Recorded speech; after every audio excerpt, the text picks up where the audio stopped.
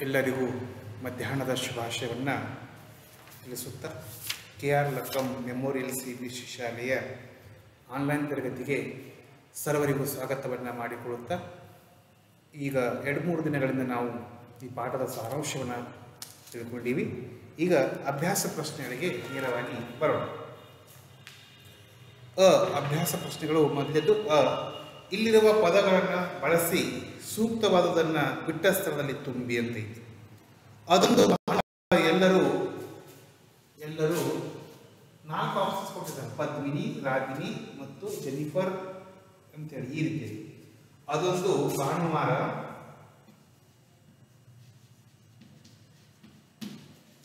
ಅದೊಂದು ಭಾನುವಾರ. ಎಲ್ಲರೂ ಎಲ್ಲರೂ ರಾಜುವಿನ ರಾಜುವಿನ ಮನೆಗೆ ಮನೆಗೆ ಬಂದರು. ಬಂದರು ಅಂತ ಕರಿಬೇಕು ಪೂರ್ಣ ವಿರಾಮ ಇನ್ನು ಎರಡನೇದು ಸ್ಥಳ ಎರಡನೇದು, ಇಮೇಲ್.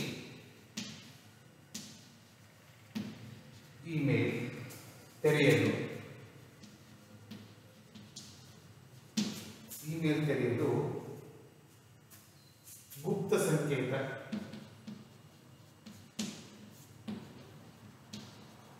ಗುಪ್ತ ಸಂಕೇತ ಅಗತ್ಯವಿದೆ ಅಗತ್ಯವಿದೆ ಮೂರನೇದು ವಿಶೇಷ ಪತ್ರ ತಯಾರಿಸಲು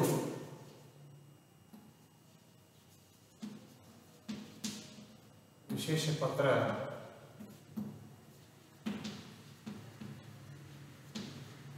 ವಿಶೇಷ ಪತ್ರ ತಯಾರಿಸಲು ಹೇಳಿದ್ದು ಹೇಳಿದ್ದು Padmini madam Padmini madam Padmini madam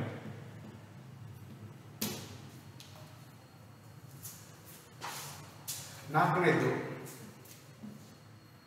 ಯಾನದ ಕುರಿತಾಗಿ ಯಾನದ ಕುರಿತಾಗಿ ಒಂದು ಒಂದು ದಂತ ಕಥೆ ಇದೆ. ಅಥವಾ ಪುರಾಣದ ಕಥೆ ಇದೆ. ಯಾನದ ಚಿತ್ರಗಳನ್ನು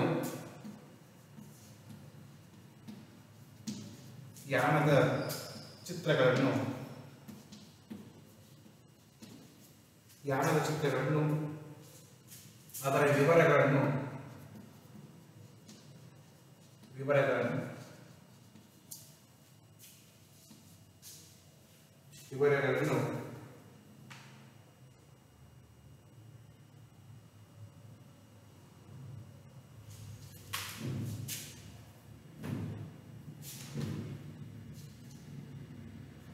ರಾಗಿಣಿ ಮತ್ತು ಜೆನಿಫರ್ ಓದಿದರು ರಾಗಿಣಿ ಮತ್ತು ಜೆನಿಫರ್ ಜೆನಿಫರ್ ಓದಿದರು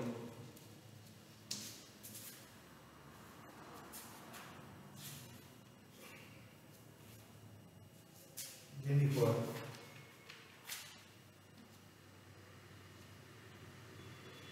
ಜೆನಿಫರ್ ಓದಿದರು ಇವು ಬಿಟ್ಟ ಸ್ಥಳ ತುಂಬಿರ್ತಾಯಿತು ಇನ್ನು ಗುಂಪಿಗೆ ಸೇರದ ಪದವನ್ನು ಬರೆಯಿರಿ, ಗುರುತಿಸಿ ಬರೆಯಿರಿ ಅಂತ ಐತಿ ಅದನ್ನು ಕೂಡ ಬರೀರಿ ಯಾವಾಗಲೂ ನೀವು ಬೇರೆಯವರಲ್ಲಿ ಈ ರೀತಿಯಾಗಿ ಪೂರ್ಣ ಬರೆದು ತುಂಬಬೇಕು, ಕೆಳಗ ಅಂಡರ್ಲೈನ್ ಮಾಡಬೇಕು. ಆಯ್ತಾ? ಇನ್ನು ಕೇವಲ ಒಂದೇ ಉತ್ತರ ಬರೀತೀರಿ ಉತ್ತರಷ್ಟು ಬರೆಯಬೇಕು ಪೂರ್ಣ ವಾಕ್ಯ ಬರೆದು ತುಂಬಬೇಕು ಈ ರೀತಿಯಾಗಿ. ಇನ್ನು ಗುಂಪಿಗೆ ಸೇರಿದ ಪದವನ್ನು ಗುರುತಿಸಿ ಐತಿ. ಆ, ಇದು ಅ ಆಯಿತು ಇಲ್ಲಿ ಆ ಬರೋಣ ಕಾಗದ, ಪತ್ರ, ದೂರವಾಣಿ, ಓಲಿ. ದೂರವಾಣಿ ತೆಗೆದು ದೂರವಾಣಿ. ದೂರವಾಣಿ. ಹೆಬ್ಬಂಡೆ, ಹಿರಿದು ಬಂಡೆ, ದೊಡ್ಡ ಬಂಡೆ, ಕಿರಿದು ಬಂಡೆ. ಇಲ್ಲಿ ಕಿರಿದು ಬಂಡೆ ತೆಗೆದಿ.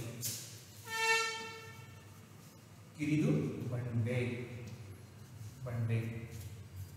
ಮೂರನೇದು, ಸಂತೋಷ, ದುಃಖ, ಆನಂದ, ಸುಖ, ದುಃಖ ತೆಗೆದಿ ಮೂರನೇದು ದುಃಖ ದುಃಖ. ನಾಲ್ಕನೇದು, ಸಂಪತ್ತು, ಆಪತ್ತು, ಧನ, ಐಶ್ವರ್ಯ. ಆಪತ್ತು ತೆಗೆಯಿರಿ.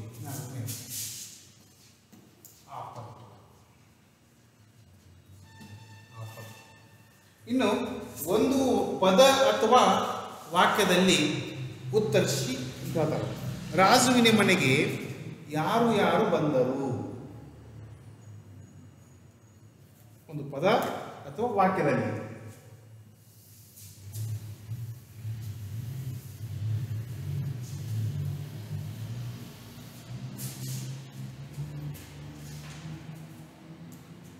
ರಾಜುವಿನ ಮನೆಗೆ ಯಾರು ಯಾರು ಬಂದರು?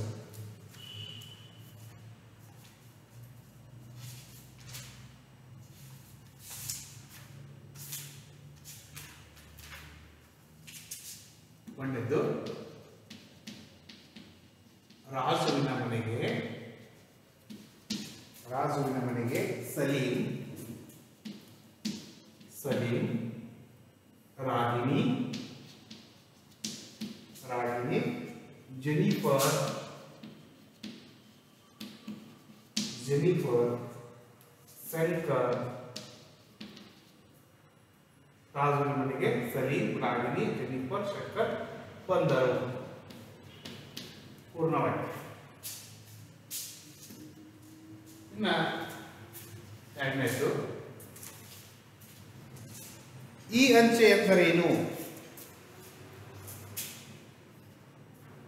ಈ ಅಂತಂದ್ರೆ ಇಲ್ಲಿ ಎಲೆಕ್ಟ್ರಾನಿಕ್ ಈ ಎಂದರೆ ಈ ಎಂದರೆ ಎಲೆಕ್ಟ್ರಾನಿಕ್ಸ್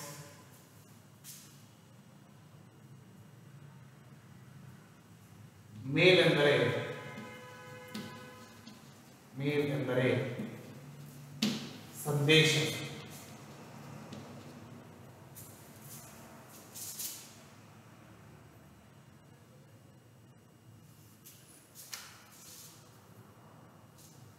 ಕಂಪ್ಯೂಟರ್ ಮೂಲಕ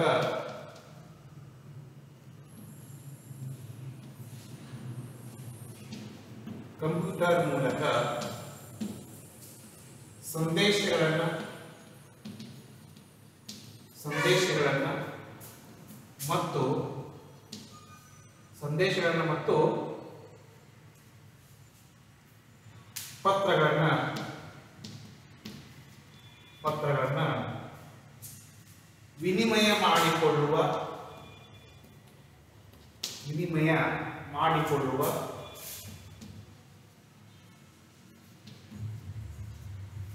ವಿನಿಮಯ ವಿನಿಮಯ ಮಾಡಿಕೊಳ್ಳುವ ಒಂದು ವಿಧಾನವೇ ಒಂದು ವಿಧಾನವೇ ಇಮೇಲ್ ಅಥವಾ ಈ ಅಂಚೆ ಎಂದು ಕರೆಯುತ್ತೇವೆ.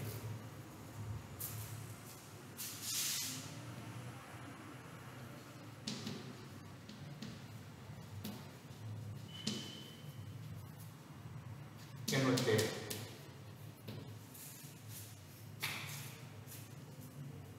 ಯಾಣದ ಯಾವ ಯಾವ ಶಿಖರ ಉಕ್ಕಿನ ಕೋಟೆ ಅಂತಿದ್ದೀವಿ? ಮೂರನೇದು ಭೈರವೇಶ್ವರ ಮೋಹಿನಿ ಶಿಖರ. ಮೋಹಿನಿ ಶಿಖರ. ಮತ್ತು ಭೈರವೇಶ್ವರ ಶಿಖರ. ಭೈರವೇಶ್ವರ ಶಿಖರ. ಉಕ್ಕಿನ ಕೋಟೆ ಅಂತಿದೆ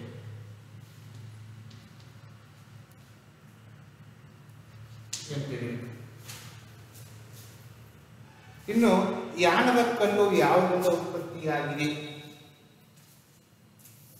ಯಾಣದ ಕಲ್ಲು ಯಾವುದರಿಂದ ಉತ್ಪತ್ತಿಯಾಗಿದೆ ಅಂತ ಪ್ರಶ್ನೆ ಇದೆ. ಯಾಣದ ಕಲ್ಲು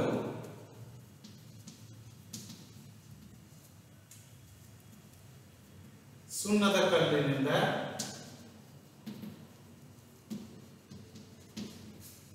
ಯಾಣದ ಕಲ್ಲು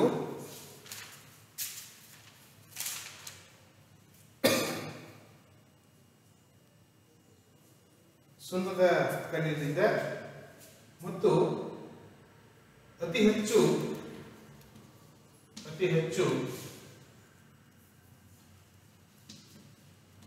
ಖನಿಜದಿಂದ ಕೂಡಿ ಕೂಡಿದೆ ಎಂದು ಹೇಳಬಹುದು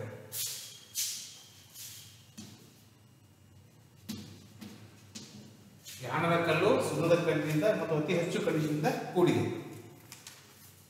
ಯಾಣದಲ್ಲಿ ಯಾವ ಯಾವ ದೇವರ ವಸ್ತು ನಡೀತದೆ ಯಾಣದಲ್ಲಿ ಭೈರವೇಶ್ವರ ವೈಶ್ ಭೈರವೇಶ್ವರ ಸ್ವಾಮಿಯ ಸ್ವಾಮಿಯ ಉತ್ಸವ ನಡೆಯುತ್ತವೆ ಇನ್ನು ಎರಡು ಮೂರು ವಾಕ್ಯದಲ್ಲಿ ಉತ್ತರಿಸಿ ಅಂತದ ಸುಂದರ್ ಗುಪ್ತ ಸಂಕೇತವನ್ನ ರಾಜುವಿಗೆ ಮಾತ್ರ ಏಕೆ ಹೇಳಿದರು? ನನ್ನ ಮಗನಿಗೆ ಕಂಪ್ಯೂಟರ್ ಬಳಸುವ ಬಗ್ಗೆ ಸ್ವಲ್ಪ ಗೊತ್ತಿದೆ. ಅವನ ಹೆಸರಲ್ಲಿ ಒಂದು ಇಮೇಲ್ ತಯಾರಿಸಿ ಒಂದು ಗುಪ್ತ ಸಂಕೇತವನ್ನು ಕೊಡುತ್ತೀರಿ ನೋಡುತ್ತೀರಿ ಎಂದು. ಸುಂದರ್ ಇಮೇಲ್ ರಚಿಸುವುದನ್ನು ಮಕ್ಕಳು ಕುತೂಹಲದಿಂದ ಗಮನಿಸಿದರು. ಸುಂದರ್ ರಾಜುವಿನ ಹೆಸರಲ್ಲಿ ಒಂದು ಇಮೇಲ್ ವಿಳಾಸವನ್ನು ತಯಾರಿಸಿದರು. ಅದರ ಗುಪ್ತ ಸಂಕೇತವನ್ನು ರಾಜುವಿಗೆ ಮಾತ್ರ ಗುಟ್ಟಾಗಿ ತಿಳಿಸಿದರು. ಆಗ ಸಲೀಂ, ಮಾಮ, ಅದೇಕೆ ಗುಪ್ತ ಸಂಕೇತವನ್ನು ರಾಜುಗೆ ಮಾತ್ರ ಹೇಳಿದಿರಿ, ನಮಗೆ ಹೇಳಿಲ್ಲ ಯಾಕೆ ಎಂದ ಅದಕ್ಕೆ ಸುಂದರ್ ನೋಡು ಸಲೀಂ. ಒಬ್ಬರ ಗುಪ್ತ ಸಂಕೇತವನ್ನೇ ಮತ್ತೊಬ್ಬರಿಗೆ ಗೊತ್ತಾಗಬಾರದು. ಗೊತ್ತಾದರೆ ಯಾರು ಬೇಕಾದರೂ ಪತ್ರ ಓದಬಹುದಲ್ಲವೇ ಅಂತ ಹೇಳ್ತಾರೆ ಯಾಣದ ಕುರಿತಾಗಿ ಇರುವ ಒಂದು ದಂತಕಥೆಯನ್ನು ಬರೆಯಿರಿ.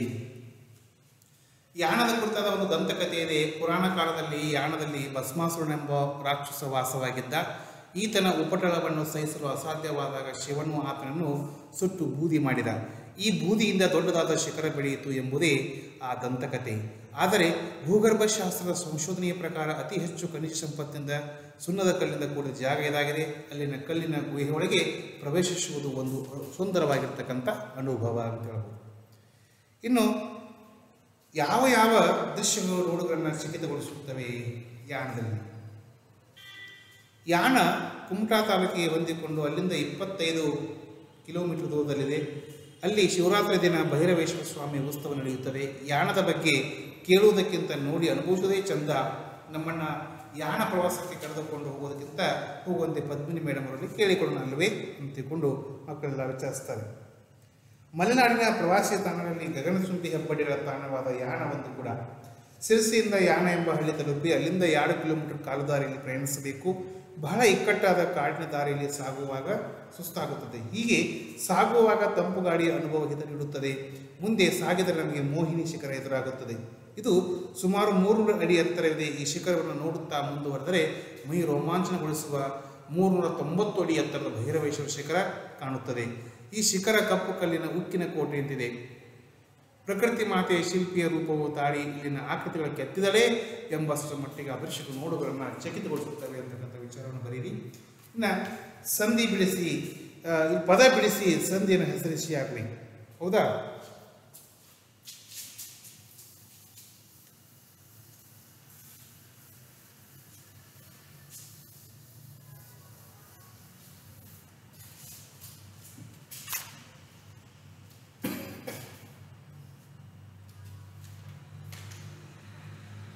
ಭಸ್ಮಾಸುರ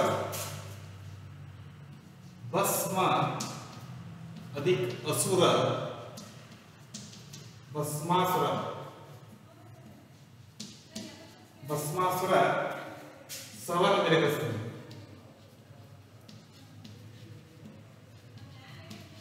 ಸವರ್ಣ ದೀರ್ಘಸಂಧಿ ಒಂದೇ ಇನ್ನು ಎರಡನೇದು ಭೈರವೇಶ್ವರ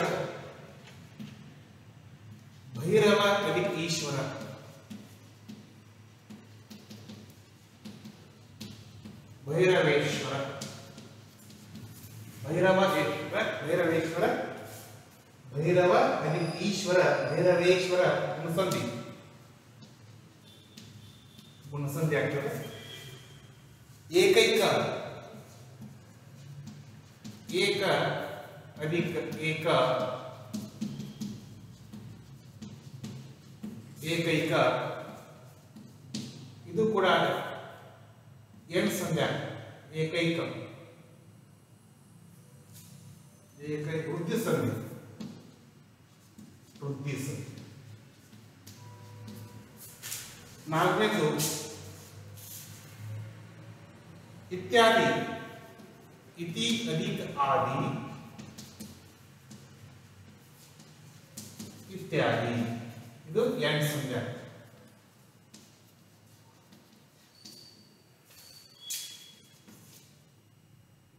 ಸೂರ್ಯೋದಯ ಸೂರ್ಯ ಅಧಿಕ ಉದಯ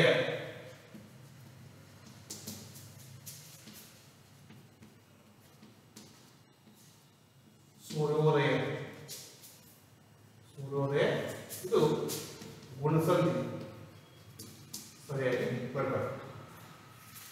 ಇಷ್ಟು ಬೇರೆಯವರು ಕೂಡ ಕಂಪಲ್ಸರಿಯಾಗಿ ಎಲ್ಲರೂ ಮಾಡಿ ನಾಡಿನ ಅವಧಿಯಲ್ಲಿ ಇದನ್ನು ಬರೆದುಕೊಂಡು ಬರಬೇಕಾಗ್ತದೆ ಧನ್ಯವಾದ